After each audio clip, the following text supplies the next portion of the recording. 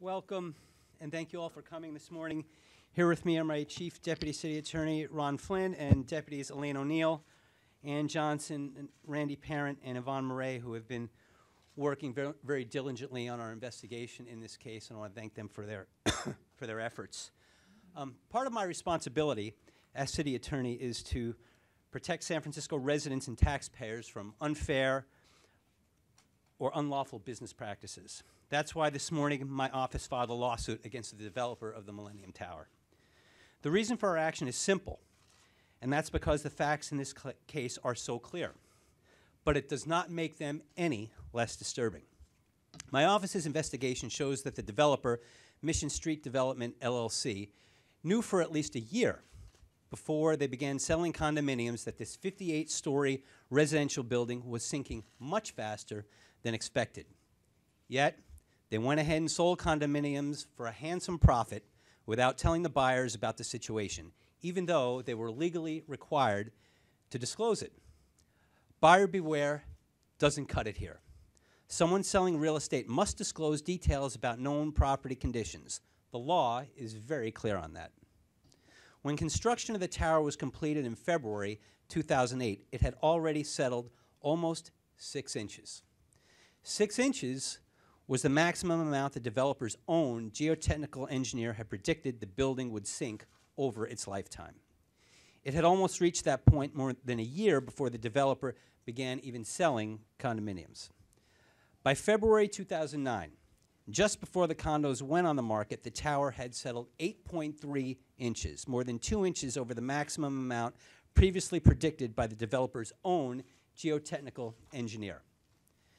After May 2009, the developer had data showing that the tower's settlement was continuing to increase and that it was settling at different rates in different parts of the property, which could lead to a, the building tilting. Now, the building has sunk 16 inches, and news reports say it is tilting two inches at the base. Before they had sold a single condominium, Mission Street Development LLC knew their building had sunk more than it was supposed to during its lifetime, and that it was still sinking. Yet they didn't tell the home buyers, and they're required to do so under the law. It's that simple.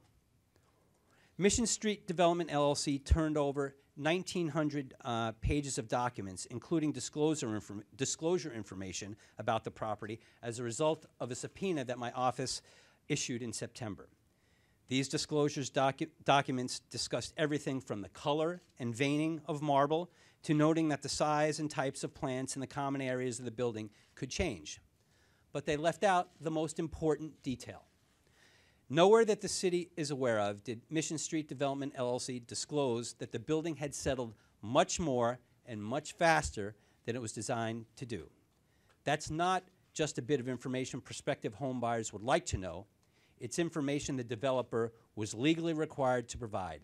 And it is at the heart of the case that the, the homeowners themselves have filed against the Tr- uh, Transbay Joint Powers Authority and the City and County of San Francisco. My office is bringing this lawsuit in the form of a cross complaint against Mission Street Development LLC. We filed it today in the case where a number of Millennium homeowners have sued the Transbay Joint Powers Authority and its members, including the City and County of San Francisco. As you are all aware, the authority is building a transit center next to the Millennium Tower site. San Francisco is one of the members of the authority, but the authority is a separate legal entity from the city. In our cross complaint, we're seeking damages from the developer that the court deems appropriate. In 2013, when it closed its new sales, the Millennium Tower brought in what the San Francisco Business Times described as a quote, massive $750 million in revenue. The average price for a condo at that time was $1.8 million. My office has a duty to protect all the taxpayers of San Francisco. We are not going to sit by and allow a developer or anyone else to enrich themselves at the expense of others by hiding crucial information that they're required by law to disclose. That gave the developer, in this case, an unfair advantage against competitors, and it cheated homebuyers out of the information that they needed to make an informed choice. And with that, uh, that summarizes what the action that we've taken this morning, and I'm happy to take any questions that anybody has. whoa, whoa, whoa, whoa. Gentlemen first. Going to go in order. Do you, do you have the option with this suit for rescinding the sales and having the, no? No, you do not. And was there a choice to file a criminal, uh, complaint? Uh, This sounds like a, c- a civil complaint. This is a civil complaint. Uh, I do not have the power under the law to file a criminal action. And um, this is a civil complaint, and that's what I'm empowered to do under the law. And we're not making any reference to any criminal action here, uh, nor have I made any referral to uh, the district attorney or uh, um, any other person or entity that would have the ability to make that inquiry.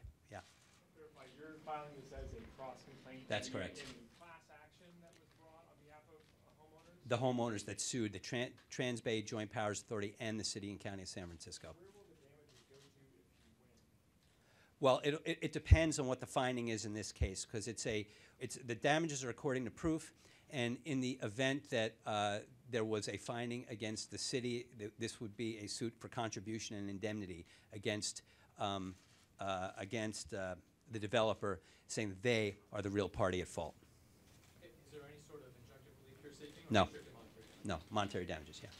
Two questions, one of which has to be, um, I was just thinking of the in a major earthquake, because that's where life is at stake here. All this other stuff is interesting, and there's monetary damages to stand for that. But is this thing going to do what it's supposed to do in an earthquake? Well, I think that uh, that's what everybody, that, that should be the primary concern of everybody, that we're protecting life and safety. And I know that there is a uh, review going on by other uh, uh, city agencies to make sure that, um, uh, that, the, that the building is safe. From everything that I have been told, the building is safe uh, and uh, could withstand, could perform in an earthquake, and that's not the focus of my inquiry at this point. Um, but I'm sure, and I know that uh, the city uh, and the mayor and the Department of Building Inspection and everybody is focused on ensuring uh, public health and safety.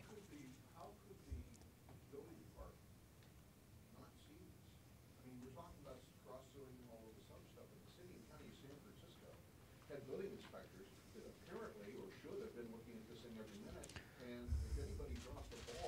much as these developers, it had to be the city and county of San department. Well, I, I- would disagree with that. The Fact of the matter is that while uh, the Department of Building Inspection uh, was aware about settlement in 2009, DBI did not receive any further information about the continuing settlement and the occurrence of differential settlement until uh, this past uh, July. So th- that's something that will be discussed in litigation. Next question. One of the issues that you have already said in some of this litigation is that the homeowners waited too late to even file. They're, they're filing against the city. And you said that they've known about it since uh, uh, 2015, and that they should have filed sooner, and that basically you want the city out of their entire lawsuit based on that claim. And now you are intervening on the lawsuit, saying they should go to, against the Millennium developers. If they lose their right to sue against the city, which is what you want apparently, and then they go against the developers and the developers don't have any money, they're essentially out of luck. Um, how do you, uh, sort of compensate for both? You're claiming that they're wrongly suing the city and that the DBI shouldn't have the responsibility of telling them. And on the other hand, you're saying it's all Millennium's fault, but they may not have the ability to pay. Well, the fact of the matter is, Jackson, that um, I think what you're referring to is a lawsuit that was filed against the city and an answer that um, we filed, that we refiled today. Um, But we've been quite clear all along that the um, focal point uh, of um, this needs to be on the responsible party, and that is uh, the developer. Because if you look at the claim that's put forth and the complaint against the city, it's basically for nuisance and inverse condemnation and a claim that there was a diminution in value uh, because of what has occurred. Well, if there was a diminution, diminution in value, it was because there was not adequate disclosure made to the, um, uh, the purchasers by uh, the developer at the time the transaction was completed. And that is what caused whatever diminution in value has occurred. So um, from our perspective, the focal point needs to be on the responsible party here, and that is the developer who um, uh, has known about this all along and uh, did not disclose information that they were requ- required to disclose to their purchasers or prospective purchasers. I, I'm sorry, I'll come back to you. Yeah. The signs of legalese, do you have some compassion for those people? Certainly. I do. Absolutely. I think that, um, you know, this is uh, every uh, uh, homeowner's worst nightmare. I mean, we've all, a lot of people go through this. They know what happens, what an investment it is to, to go and, and purchase a home or a condominium. Sometimes you have people's entire savings that they put forth to, to purchase something. So um, that's why what has occurred here is so egregious, and why California law is so strict and expansive uh, when it comes to what you must disclose to a prospective purchaser. The whole reason for the expansive law in this area is so that people don't get ripped off and uh, that they're protected. And that's what, in, in our view, what makes this particularly egregious when you look at all the disclosures that have been forth, and you talk about marble veining and everything else, and you don't have the most important thing, which goes to the heart of what one would consider if they were going to make a transaction. So yes, I have tremendous compassion for these folks, and that's why um, we're stepping in to make sure that the that the, the developer, uh, that the city is making sure that the responsible party here is um, is uh, is um, uh, uh, paying for their misdeed. You had a question. Yes, sir. Uh, I wanted to ask, is this purely a failure to disclose? It is. It is. And, uh, that was my question. Thank you. Okay, this gentleman here. What's the most recent packet that you guys reviewed? I'm sorry. What is the most recent disclosure packet you reviewed, and what? at what We, we received 1,900 pages of documents in response to a subpoena that we issued in September. I mean, what, what, a transaction, a purchase, and what year? Oh, okay. was their failure to disclose? 2011. Yeah. Jackson. Um, Don't you think that although it is the Millennium's responsibility, aren't you a little embarrassed for the city that they didn't even bother to tell anybody? Given that it's the city's job to maintain public safety here. And obviously, if they know Millennium isn't telling owners to step in and actually do the right thing when they won't. I mean, in two thousand and nine, the city clearly knows that they exceeded uh, by all measures, the predicted level of settlement. And then they watch as Millennium fails to disclose. Clearly, the city knows that Millennium's not telling the owners. I mean, that's readily apparent, isn't it? I mean, No, I don't think The so. city should just sit there and let them commit a crime? Well, let's be careful with the words we use. Gentleman here asked about criminal activity, and I'm not going to say that anybody's committing a crime because I don't have any evidence of that. Okay, so let me uh, answer your question. We, DBI, there's no doubt that uh, DBI knew about settlement in 2009, but it, it wasn't until this past July that DBI had uh, additional information about um, the continuing settlement and the um, uh, occurrence of differential settlement. Now, so they didn't have all that information, number one. But number two, to, your, to, your, to, to the second part of your question, you have to think about who's the one that's dealing with the purchasers. The city uh, is not in the position of knowing what the developer is disclosing to uh, prospective purchasers or not. We're not in privy to contract. The city doesn't inject itself in every real estate inquiry or transaction that is going on, and we don't know what they're disclosing uh, uh, uh, to prospective purchasers. And as a, it was only as a result of our subpoena that we've received the disclosure packages that went to the purchasers, and we saw what uh, was and was not being disclosed. If we followed your logic, fact of the matter is you would have the city being the insurer on every potential uh, home purchase in San Francisco, stepping in and, and, and trying to monitor and injecting itself in every real estate transaction to see if um, the proper disclosures were made or weren't made.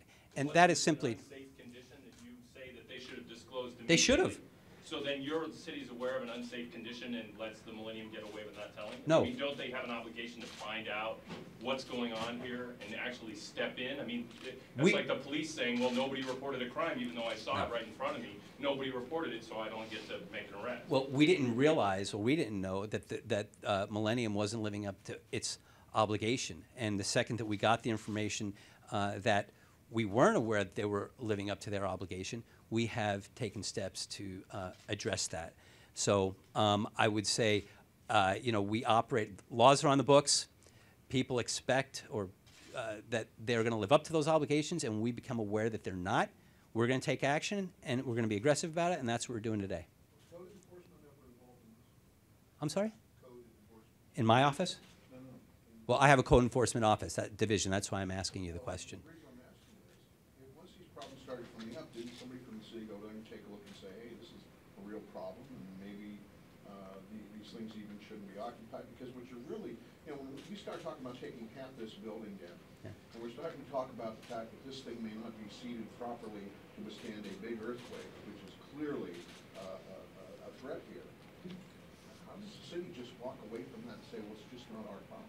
No, well, I'm- I, I, as DBI has gotten information, Department of Building Inspection, that's who I presume you're asking about. They have gotten involved. They are making sure uh, and working to make sure that the building uh, is safe. And I don't think that anybody is walking away and tr- trying to say it's not uh, anybody's problem. The city is being aggressive in terms of analyzing the public health and safety and in terms of disclosures and making sure that uh, Millennium followed their obligation under the law. That's something that we're here to talk about today. Anybody else? Yeah.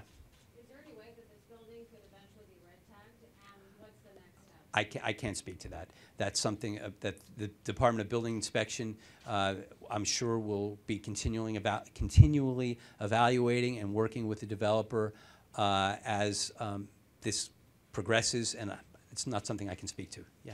Uh, Could this become a criminal case? I mean, could Millennium Partners be held to, to fix the problem? And, and, and what, you know, what is the next step? Yeah, Because I- that building is still, still. Yeah, I, I can't speak to any cr- criminal inquiry.